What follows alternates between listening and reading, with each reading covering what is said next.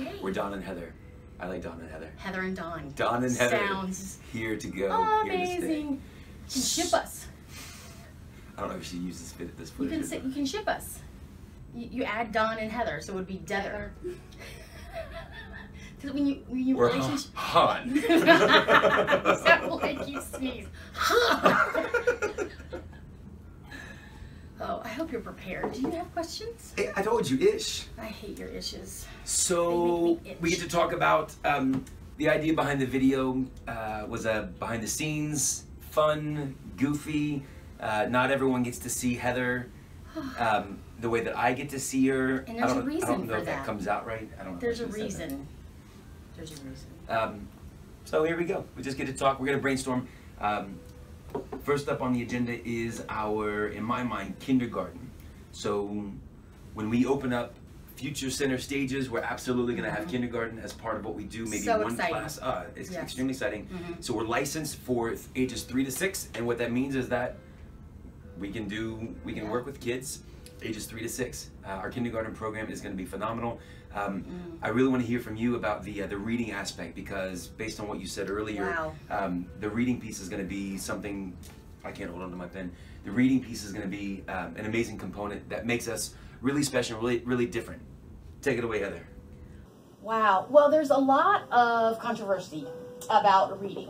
I didn't know you know if anybody knows that, but as a person who has grown up, you know, when I was young, I was diagnosed with dyslexia, and that was like, you know, 450 years ago. And they didn't have That explains a lot. um, they didn't have a lot to say about it then, and they weren't sure how to approach it. And then on top of that, I was ADD. So my heart is really in this reading thing because once I was taught how to read, um, again, the way that my brain learns how to read, a whole world was opened up to me, and all the frustration and being in special classes, and you get labeled really early. It just was, it was horrible. It was horrible to feel like I'm a normal kid, but I keep being taken out of mainstream because my brain doesn't look at the words in a book the way other people's do. And it was really difficult. So anyway, I have a real heart for, for reading. But there's a lot of controversy about reading because everybody goes at it in a different way. And also they argue like like this politics stuff. The, the same amount of passion and uh, different sidedness of like where we stand on how we view things. Reading brings out some crazy opinions and like stance. Like I'm going to put my my stake in the ground here because this is what's right. And then another person saying that exact same thing like on the other side. So What, what are some of the sides? You got like sight words. Oh. I'm sure sight words We got, versus like- sounding things out. Yes, we've got like phonics, um, sight words. We've got learning the letters first. We've got uh, only teaching um, uppercase versus lowercase to start. I mean, all of this goes into just like how the mind works, the development of the child. Um, I am studying right now and in, um, investigating some of the best reading programs and why. So it's not just this is a highly ranked reading program, but I, as a dyslexic person and a mom, want to know why. And does it hit everyone? Does it hit a variety? Because we just can't keep doing what we're doing if even the teachers aren't being um, teachers in school to become teachers. They don't really. There isn't um I don't even know how to say it. There isn't a school of thought in some ways. They they call it um, they call it gradual gradual resistance or gradual so it's, it's almost as if the child themselves will teach themselves as they gain momentum in learning their letters and sight words. So it'll be a gradual release is what it's called. It. um, for me with a dyslexic person we don't necessarily have a spell check. So there's never a gradual release. So there's this frustration of everyone's kind of grasping the concept and moving forward and then you're stuck at the finish you're stuck at you know the beginning not knowing anything that you knew before so i really want to implement an amazing reading program and if anybody's watching this send me stuff i know i know whoever you are you feel very strongly about it because that's that's the information i'm getting Yeah. i know i feel strongly uh, but i feel strongly as an as a child advocate and as a person for, for myself um, so I really want to know. I really want to know what works. What are the stats that back it up? What is the research that backs it up? and I want to be able to start it not just in kindergarten, Right. but I want to start with the four-year-olds. Right, right. well, all of it builds, of course. You start with the letters when they're little, but um, I really want to start um, whatever program it is to really kind of branch out, start them as young as we can, so they really have some structure to stand on. Can you imagine if they knew how to read when they left us, and we're going into kindergarten so empowered? Oh, it just it. Ah, I feel very passionate about it. I'm very excited. I could have just, I would have been president. And we would have been arguing about a whole other different things if I could read better I don't know when if I was little. put that in there. I, I think I could. Heather for president. Um, So yeah, no, that's exciting, and uh, I was hoping you were going to bring that up. The idea that we're going to start them earlier. So we got this Yes. this kindergarten program that's going to be amazing, um, and then to be able to introduce it into our preschool, so that as Yes. if someone starts with us from the time that they're three years old, they can they can go all the way through. They're six. They're going to be uh, finishing kindergarten. yes. Um, and really, And we're already really pushed. prepared. Yeah, we already pushed the um, vocabulary and a voice and a choice and speaking up for yourself and your your feelings have have um, words attached to them, so we can say this is how I'm doing or this is how I'm feeling. So that just kind of really woven into that gold thread of you feel good about you and without you our school isn't the same and we're all part of this community and this divergent thought of of whoever you are you bring something valuable to our program to, to give somebody the capacity to read it, it that's a gift I, I thought about this the other day. I, I feel like I, I take for I have taken for granted until we started talking about this. How I mean, you know, okay, reading is important. Yeah, it's important, but it's like it's what we do every day. every single day Every single day, if you couldn't read or if there's if there's a problem, how do you Yeah. how do you do what you do? you could push calculus down my throat but i'd be like i i can honestly say as a 44 year old i have never used it ever reading however every single day no matter who you are and Yeah. whatever and of course we all know that we take that for granted but this is a big deal to set our kids out right because it's right now where we decide who we are mm-hmm. right now as a little one in this ages between three to six we decide are we smart are we strong um, do we make good friends? Am I um, am I a bad kid or a good kid? They we carry we get these labels at this age. We, we put them on ourselves and we kind of take them with our life. This is where we decide who we are and what we feel about school and how we feel about school when we're in that environment. So I think we have to guard this time with everything that we have and um, empower them to kind of take on their little world in the in the places that they shine and, and, and how they are strong. And with every single child, that means being a strong reader. I, I really believe that. So anyway, I'm very we could talk about for days, but we won't. But I love it. I love it. It's good stuff. Yeah. So uh, tell me about um, summer camp. So we have summer camp coming up, and we've had people ask, you know, do you do you continue through the summer? If we're in the preschool program, do we have to stop during the summer? Can we go? We have so center stage. We can we can accommodate for preschoolers. We have morning only. Uh, we accommodate for families that need us five day, full day for childcare.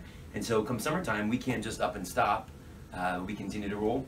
Um, our curriculum changes. Yes, sir. Um, but we keep on doing what we do. Uh, so tell me some of the themes that we're, we're, we're rolling with uh, this coming summer. Okay, so I'm still brainstorming and putting together some of our summer camp situations, but um, as it stands, summer camp will be exactly like our curriculum, the way we're doing it now. The same time drop off, the same meal selections, the same um, smiling faces and teachers that care for you, except we will do a thematic basis every other week. So it'll be Under the Sea or Legoland or Pirates and Princesses. And then we'll branch off of that into our activities, into um, art, into music. So it will be instead of, you know, I think everybody needs a break from curriculum. I really do. We all need a fresh start in a time when we can just have fun, but we still need structure. Mm-hmm. And parents still have to go to work. So I feel like it should be fun something so different and, and even walking in the school when it all looks different. So if it's under the sea week, you know, stuff's hanging from the ceiling and we kind of feel like we're there and we, we investigate, you know, pirate ships that have sunk in and there's just so many fun things we can do and act out and a lot of the dramatic arts will come into play and we'll be dressing up a lot. Um, I just think that it will be a lot of fun. It'll grab their attention and they won't even kind of feel like they're at preschool. It, it, it'll be preschool but with a kick. Yeah. That's what I say. I like it. Thank you. I like it a lot. What else? What else is happening big? Another big thing is um, uh, we are so we're almost full. Yes. oh my great word. news. We're almost full. So we've been open Uh, I feel like this has been like a, a, a forever lifetime project, but we really Two only years for me, but five and a half months for the rest of the world. Yeah, yeah. So we started like August 29th. Just call it September, September, October, November, December. Here we are. Well, January. Sorry, February 1st. So um, September, October, November, December, January. So five Wow. full months. This is math. the. Maybe math might be my, my strong subject. um, so we're at the start of our sixth month. We're almost full by the time this coming fall comes. I'm quite confident that we will, especially with the Yes. kindergarten uh, class. We'll have one class of 15. Yes, sir. One class of 15. Um, they'll have their own zone. yeah, and it's gonna be- kindergarten zone. it's going to be awesome. Like there'll be some uh, the way we have our building structure. There'll be you know, at any one time or during the day, your child, if you're uh, going to put a kindergarten with us, will have set times when it's just him, him or her, one child plus two others and a teacher. Um, and the ratios are going to stay really, really small, really tight. Um, all throughout their day. throughout the entire day. Yes. They're still, especially if they do extended care with us. That's right. They're still going to get the theater and the drama and the art and the everything that makes center stage center stage. So that's really cool. Yes. So by the time fall comes around, we're going to be full, which um, which makes me start brainstorming and start thinking. I Uh, hate when you do this. future, like what's Yes. next? What's so next? the next one. So we've already started looking at new buildings. Um, we've already started looking at new areas to, to move into. One of the things I'm really excited about, and I know that, that we're all on board with this, is the um, the idea that we don't want our, our centers to be like this great big monstrosity. No. So I know in Ashburn they just had a, a, a new one open up that's I want to say like it's 15. beautiful. It's, it's amazing. It is an amazing, Yeah. it, and there's room for everyone. Yeah, It like- is a beautiful site. I think it's like 15 stories high. It That makes my little preschool heart beat fast. Yeah. So um, us keeping keeping like a sixty to hundred kids, like that's all we cater to. I really feel like that's going to be a great niche for us. I think that that's good for us. It keeps us in that like little family. I love it's it. what we do well. Yeah, I love I think we have to do what we do well, and that's what we do well. Totally agree. Can I go back to the kindergarten thing real quick? Please. What I wanted for the kindergarten is also kindergarten is like a rite of passage. It is it's amazing. So if you're gonna stay on with us and you've already been here, then it won't it's not like that big day where you got your new big backpack and you get on that great big bus and you go to this crazy place called school. So there's some of that that is a rite of passage. And so I'm really excited that we are going to have that kindergarten zone um, so that you are here where you are comfortable and yet it's a completely different program and you're not you are still doing that um, montessori approach within your classes but you are not with everyone else. You have your own curriculum and you are a big kindergartner and that's a big deal. So i just wanted to if people were wondering how is that it, it is a rite of passage. I think it's um, appropriate and it's um, it's a big day. I'll never forget my first day of kindergarten. I think I'm, a lot of us feel that way. So we're going to really honor that transition and really call them out to be the big smart kids that they are. I love it. Thank you I love it. So those, in my mind, those are the uh, big three things that are kind of happening right now. We are getting ready for summer, uh, transitioning our building into a summer program. That's really cool. Um, we are transitioning into kindergarten come fall. Uh, that's amazing. I'm really excited about that. I never, when we, I think when we started this, we never thought no that's the direction that we would move into. But you know, you, you Well, I think that the need of the the direction, parents. It's the parents. It's a parent-driven need because um, where we are right now in Loudoun, there's only half-day kindergartners, and I think a lottery. Like I'm new to the area, so a lottery for like full-time. I've never seen that before. Yeah. But Loudoun's growing so big, so fast. There just isn't space. Um, some parents are really having to jump through hoops. I, I mean, I can't imagine being at work somewhere in Washington and having to figure out how to get your child who's just done half day kindergarten. So now you're paying again for a pickup and a whole day. I- just think Yeah. it's a lot of transition. And I, I know personally, um, you're exactly right. I know also that Loudoun, they say one day we'll go to full day kindergarten. everybody's crossing their fingers Yeah. for that. And, and even when it happens, I think our our 15 student kindergarten class is always going to be here just because. It's more one-on-one. I think some kids really need that. Not everybody needs that, but some some people really need that. Absolutely, some of our key families that have been here now with uh, with preschool. Yes. They've um they're asking, are you going to do it? Do you have it? What what are we going to do? Come time Mm-hmm. for kindergarten. We really like this place. We want to continue. Uh, can we make that happen? So that's um. So we said we'll get back to you on that. And, and this is us getting back to you. It's gonna happen. We're so excited. It's gonna happen. Yes. Um, sweet. Um, we're really good on time. Should we tell everybody about the time that I wrecked your car? Yeah, never let Master Alley or Don Alley, whichever, uh, borrow your car. It just, it just, I don't know if this will even make it to the video, but just in case it does, I think it's a great story. Uh, It's not a great- it's not a so great I'm a martial arts instructor, right? I, I run Super Kicks Karate, and um, And I used to be your personal assistant. she was my assistant. She did my everything to, Ran to run my life, run, yes. ran my. It was not a little life. It was Well, a, that's a what I just meant, like you, just your life, Thanks. not that your life was little. Thanks. Um, For the love. so uh, they were my students, family, whole family training, and I, for whatever reason, because my car's messed up a lot of times, Because you don't get the oil change and you don't keep up with the maintenance because you're Pink Slip Alley. But we'll leave that for another. Another story. Another So I had to borrow her car. I had to borrow a car. So I'm driving this van, and I like this little van, and We liked the little. yeah, thanks. And I'm sitting at a stoplight, and uh, I look in the rearview mirror, and there's a car approaching me very quickly. I'm stopped. I'm, I'm obeying the law. And This is my his story. I'm my not sure it. it is in my borrowed car. I'm sitting there, and boom, I get slammed into from uh, from behind, and I think I can't believe this just happened. Did this really just happen? And they kept on going, and they made a right turn. I thought. I gotta go catch these people. So I, so I speed up. So the then- ninja gets out, yeah. runs out. So I speed up, and then I hear the car like, and I thought maybe I shouldn't like keep on going. Luckily, um, luckily uh, I was okay. Uh, Yes. I don't know whatever happened to the people that actually hit me, but um, her van was totaled. Totaled. And the moral, the best part of the story is that. And I um, think it's the worst part of the story. I think this is the great part of the story. So then the they it was totaled. So the insurance they paid her whatever they paid her, but then her family used that money to go ahead and pay off their martial arts membership. So um, it So was you- like full circle. It was awesome. I mean, So you wreck our car and then get paid. Pretty much. And I'm completely out of the loop. Now I'm out of a car and the check that's coming to get the car is now gone. But I didn't take that. I mean, they offered that to me. I didn't suggest it. I don't think I suggested it. I may have, but I don't think I did. Are you, it's another, it's another day. It's another day.